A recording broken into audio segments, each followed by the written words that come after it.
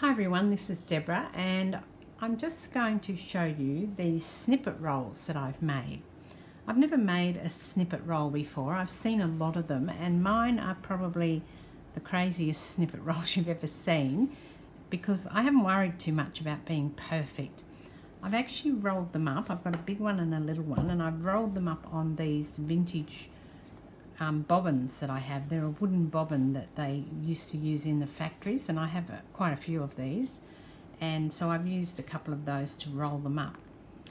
This is the smaller one and I'll tell you how I made them because I did make them actually differently. So this one here, each of the snippet rolls I've, I've roughly cut at about the two and a half inch mark and how I made this one was I started out with a piece of fabric. It's just plain um, lining fabric or homespun or whatever you want to call it.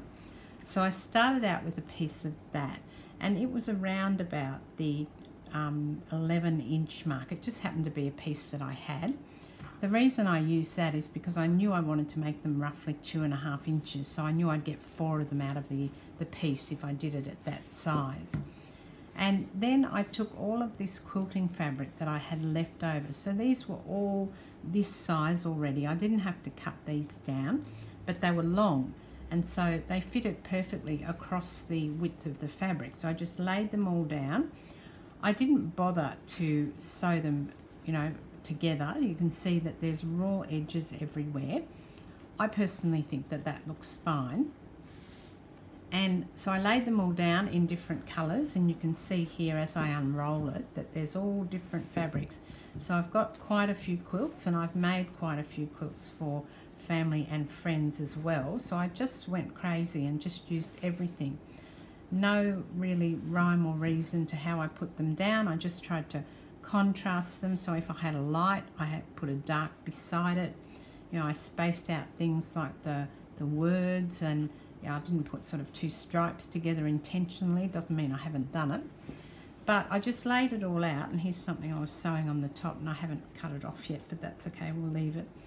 Um, and then I just sewed them all together. And so I've made it the width of the fabric, which is um, 44 inches was the width, and I've just sewn that all together. So then I cut it just using my rotary cutter and I did use a ruler but I didn't worry too much about getting it perfectly at the two and a half inches. I mean people might not like it but that's who I am. I prefer things that are messy.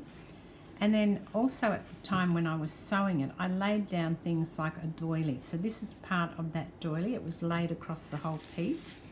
I also put down some lace some ribbon trim more lace there. Um, what else have I got? Bits of other lace, even if it didn't go across the width of the fabric. I just laid it down and just sewed it on. Here's some ribbon, different things. And then after I finished it yesterday, I got my machine out again and I did a few different things. I picked up lots of different um, bits and bobs that I had lying around. So I pulled out like my lace tub and I thought what can I use in here? And I also got my ribbon tub out and I started to just put things on it.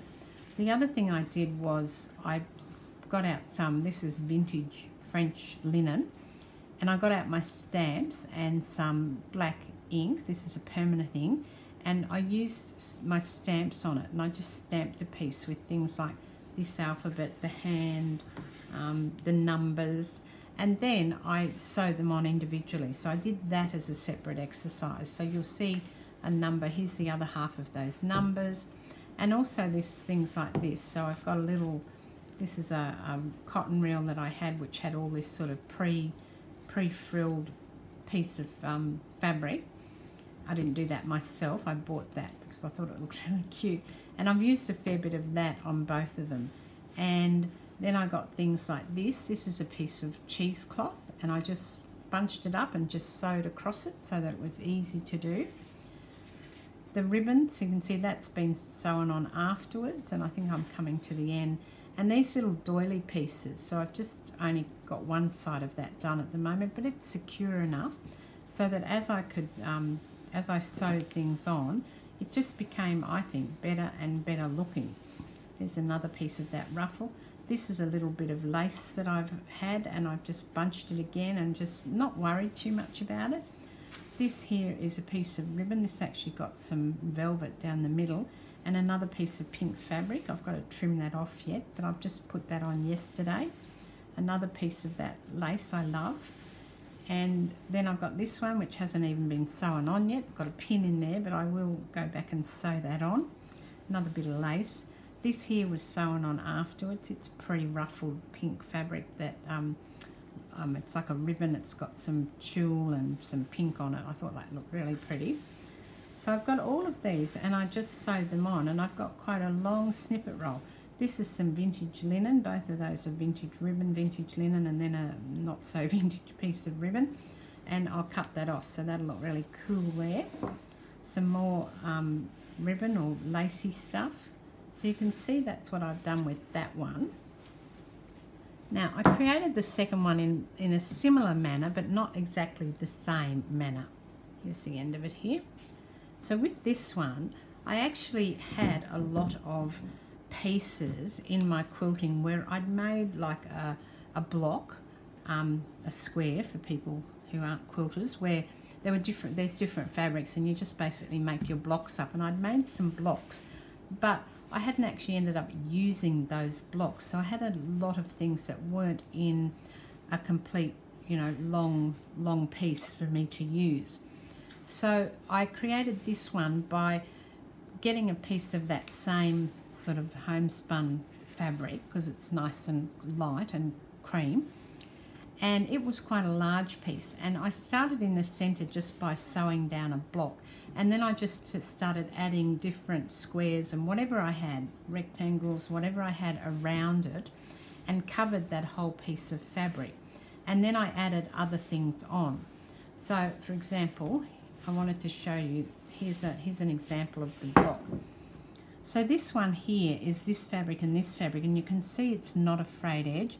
That's because I've actually created that block when I was quilting but I never ended up using that particular block. So I've just put it down, sewed around it and butted all the fabric up against one another and then made this, this giant thing. I think it was about I don't know, 45 inches by 45 inches. It was pretty big.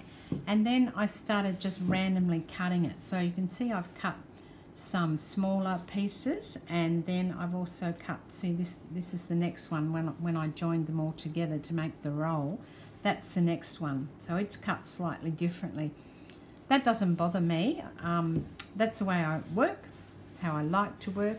And then yesterday, again, I sat down and I just picked up all these other bits of leftover stuff, like this bit of ruler ribbon here, some more lace, and more of that stamping, more fabric. I've just ruffled doilies, sort of ribbons, and I've put them either vertically or horizontally, or sometimes I've just put them in a random order.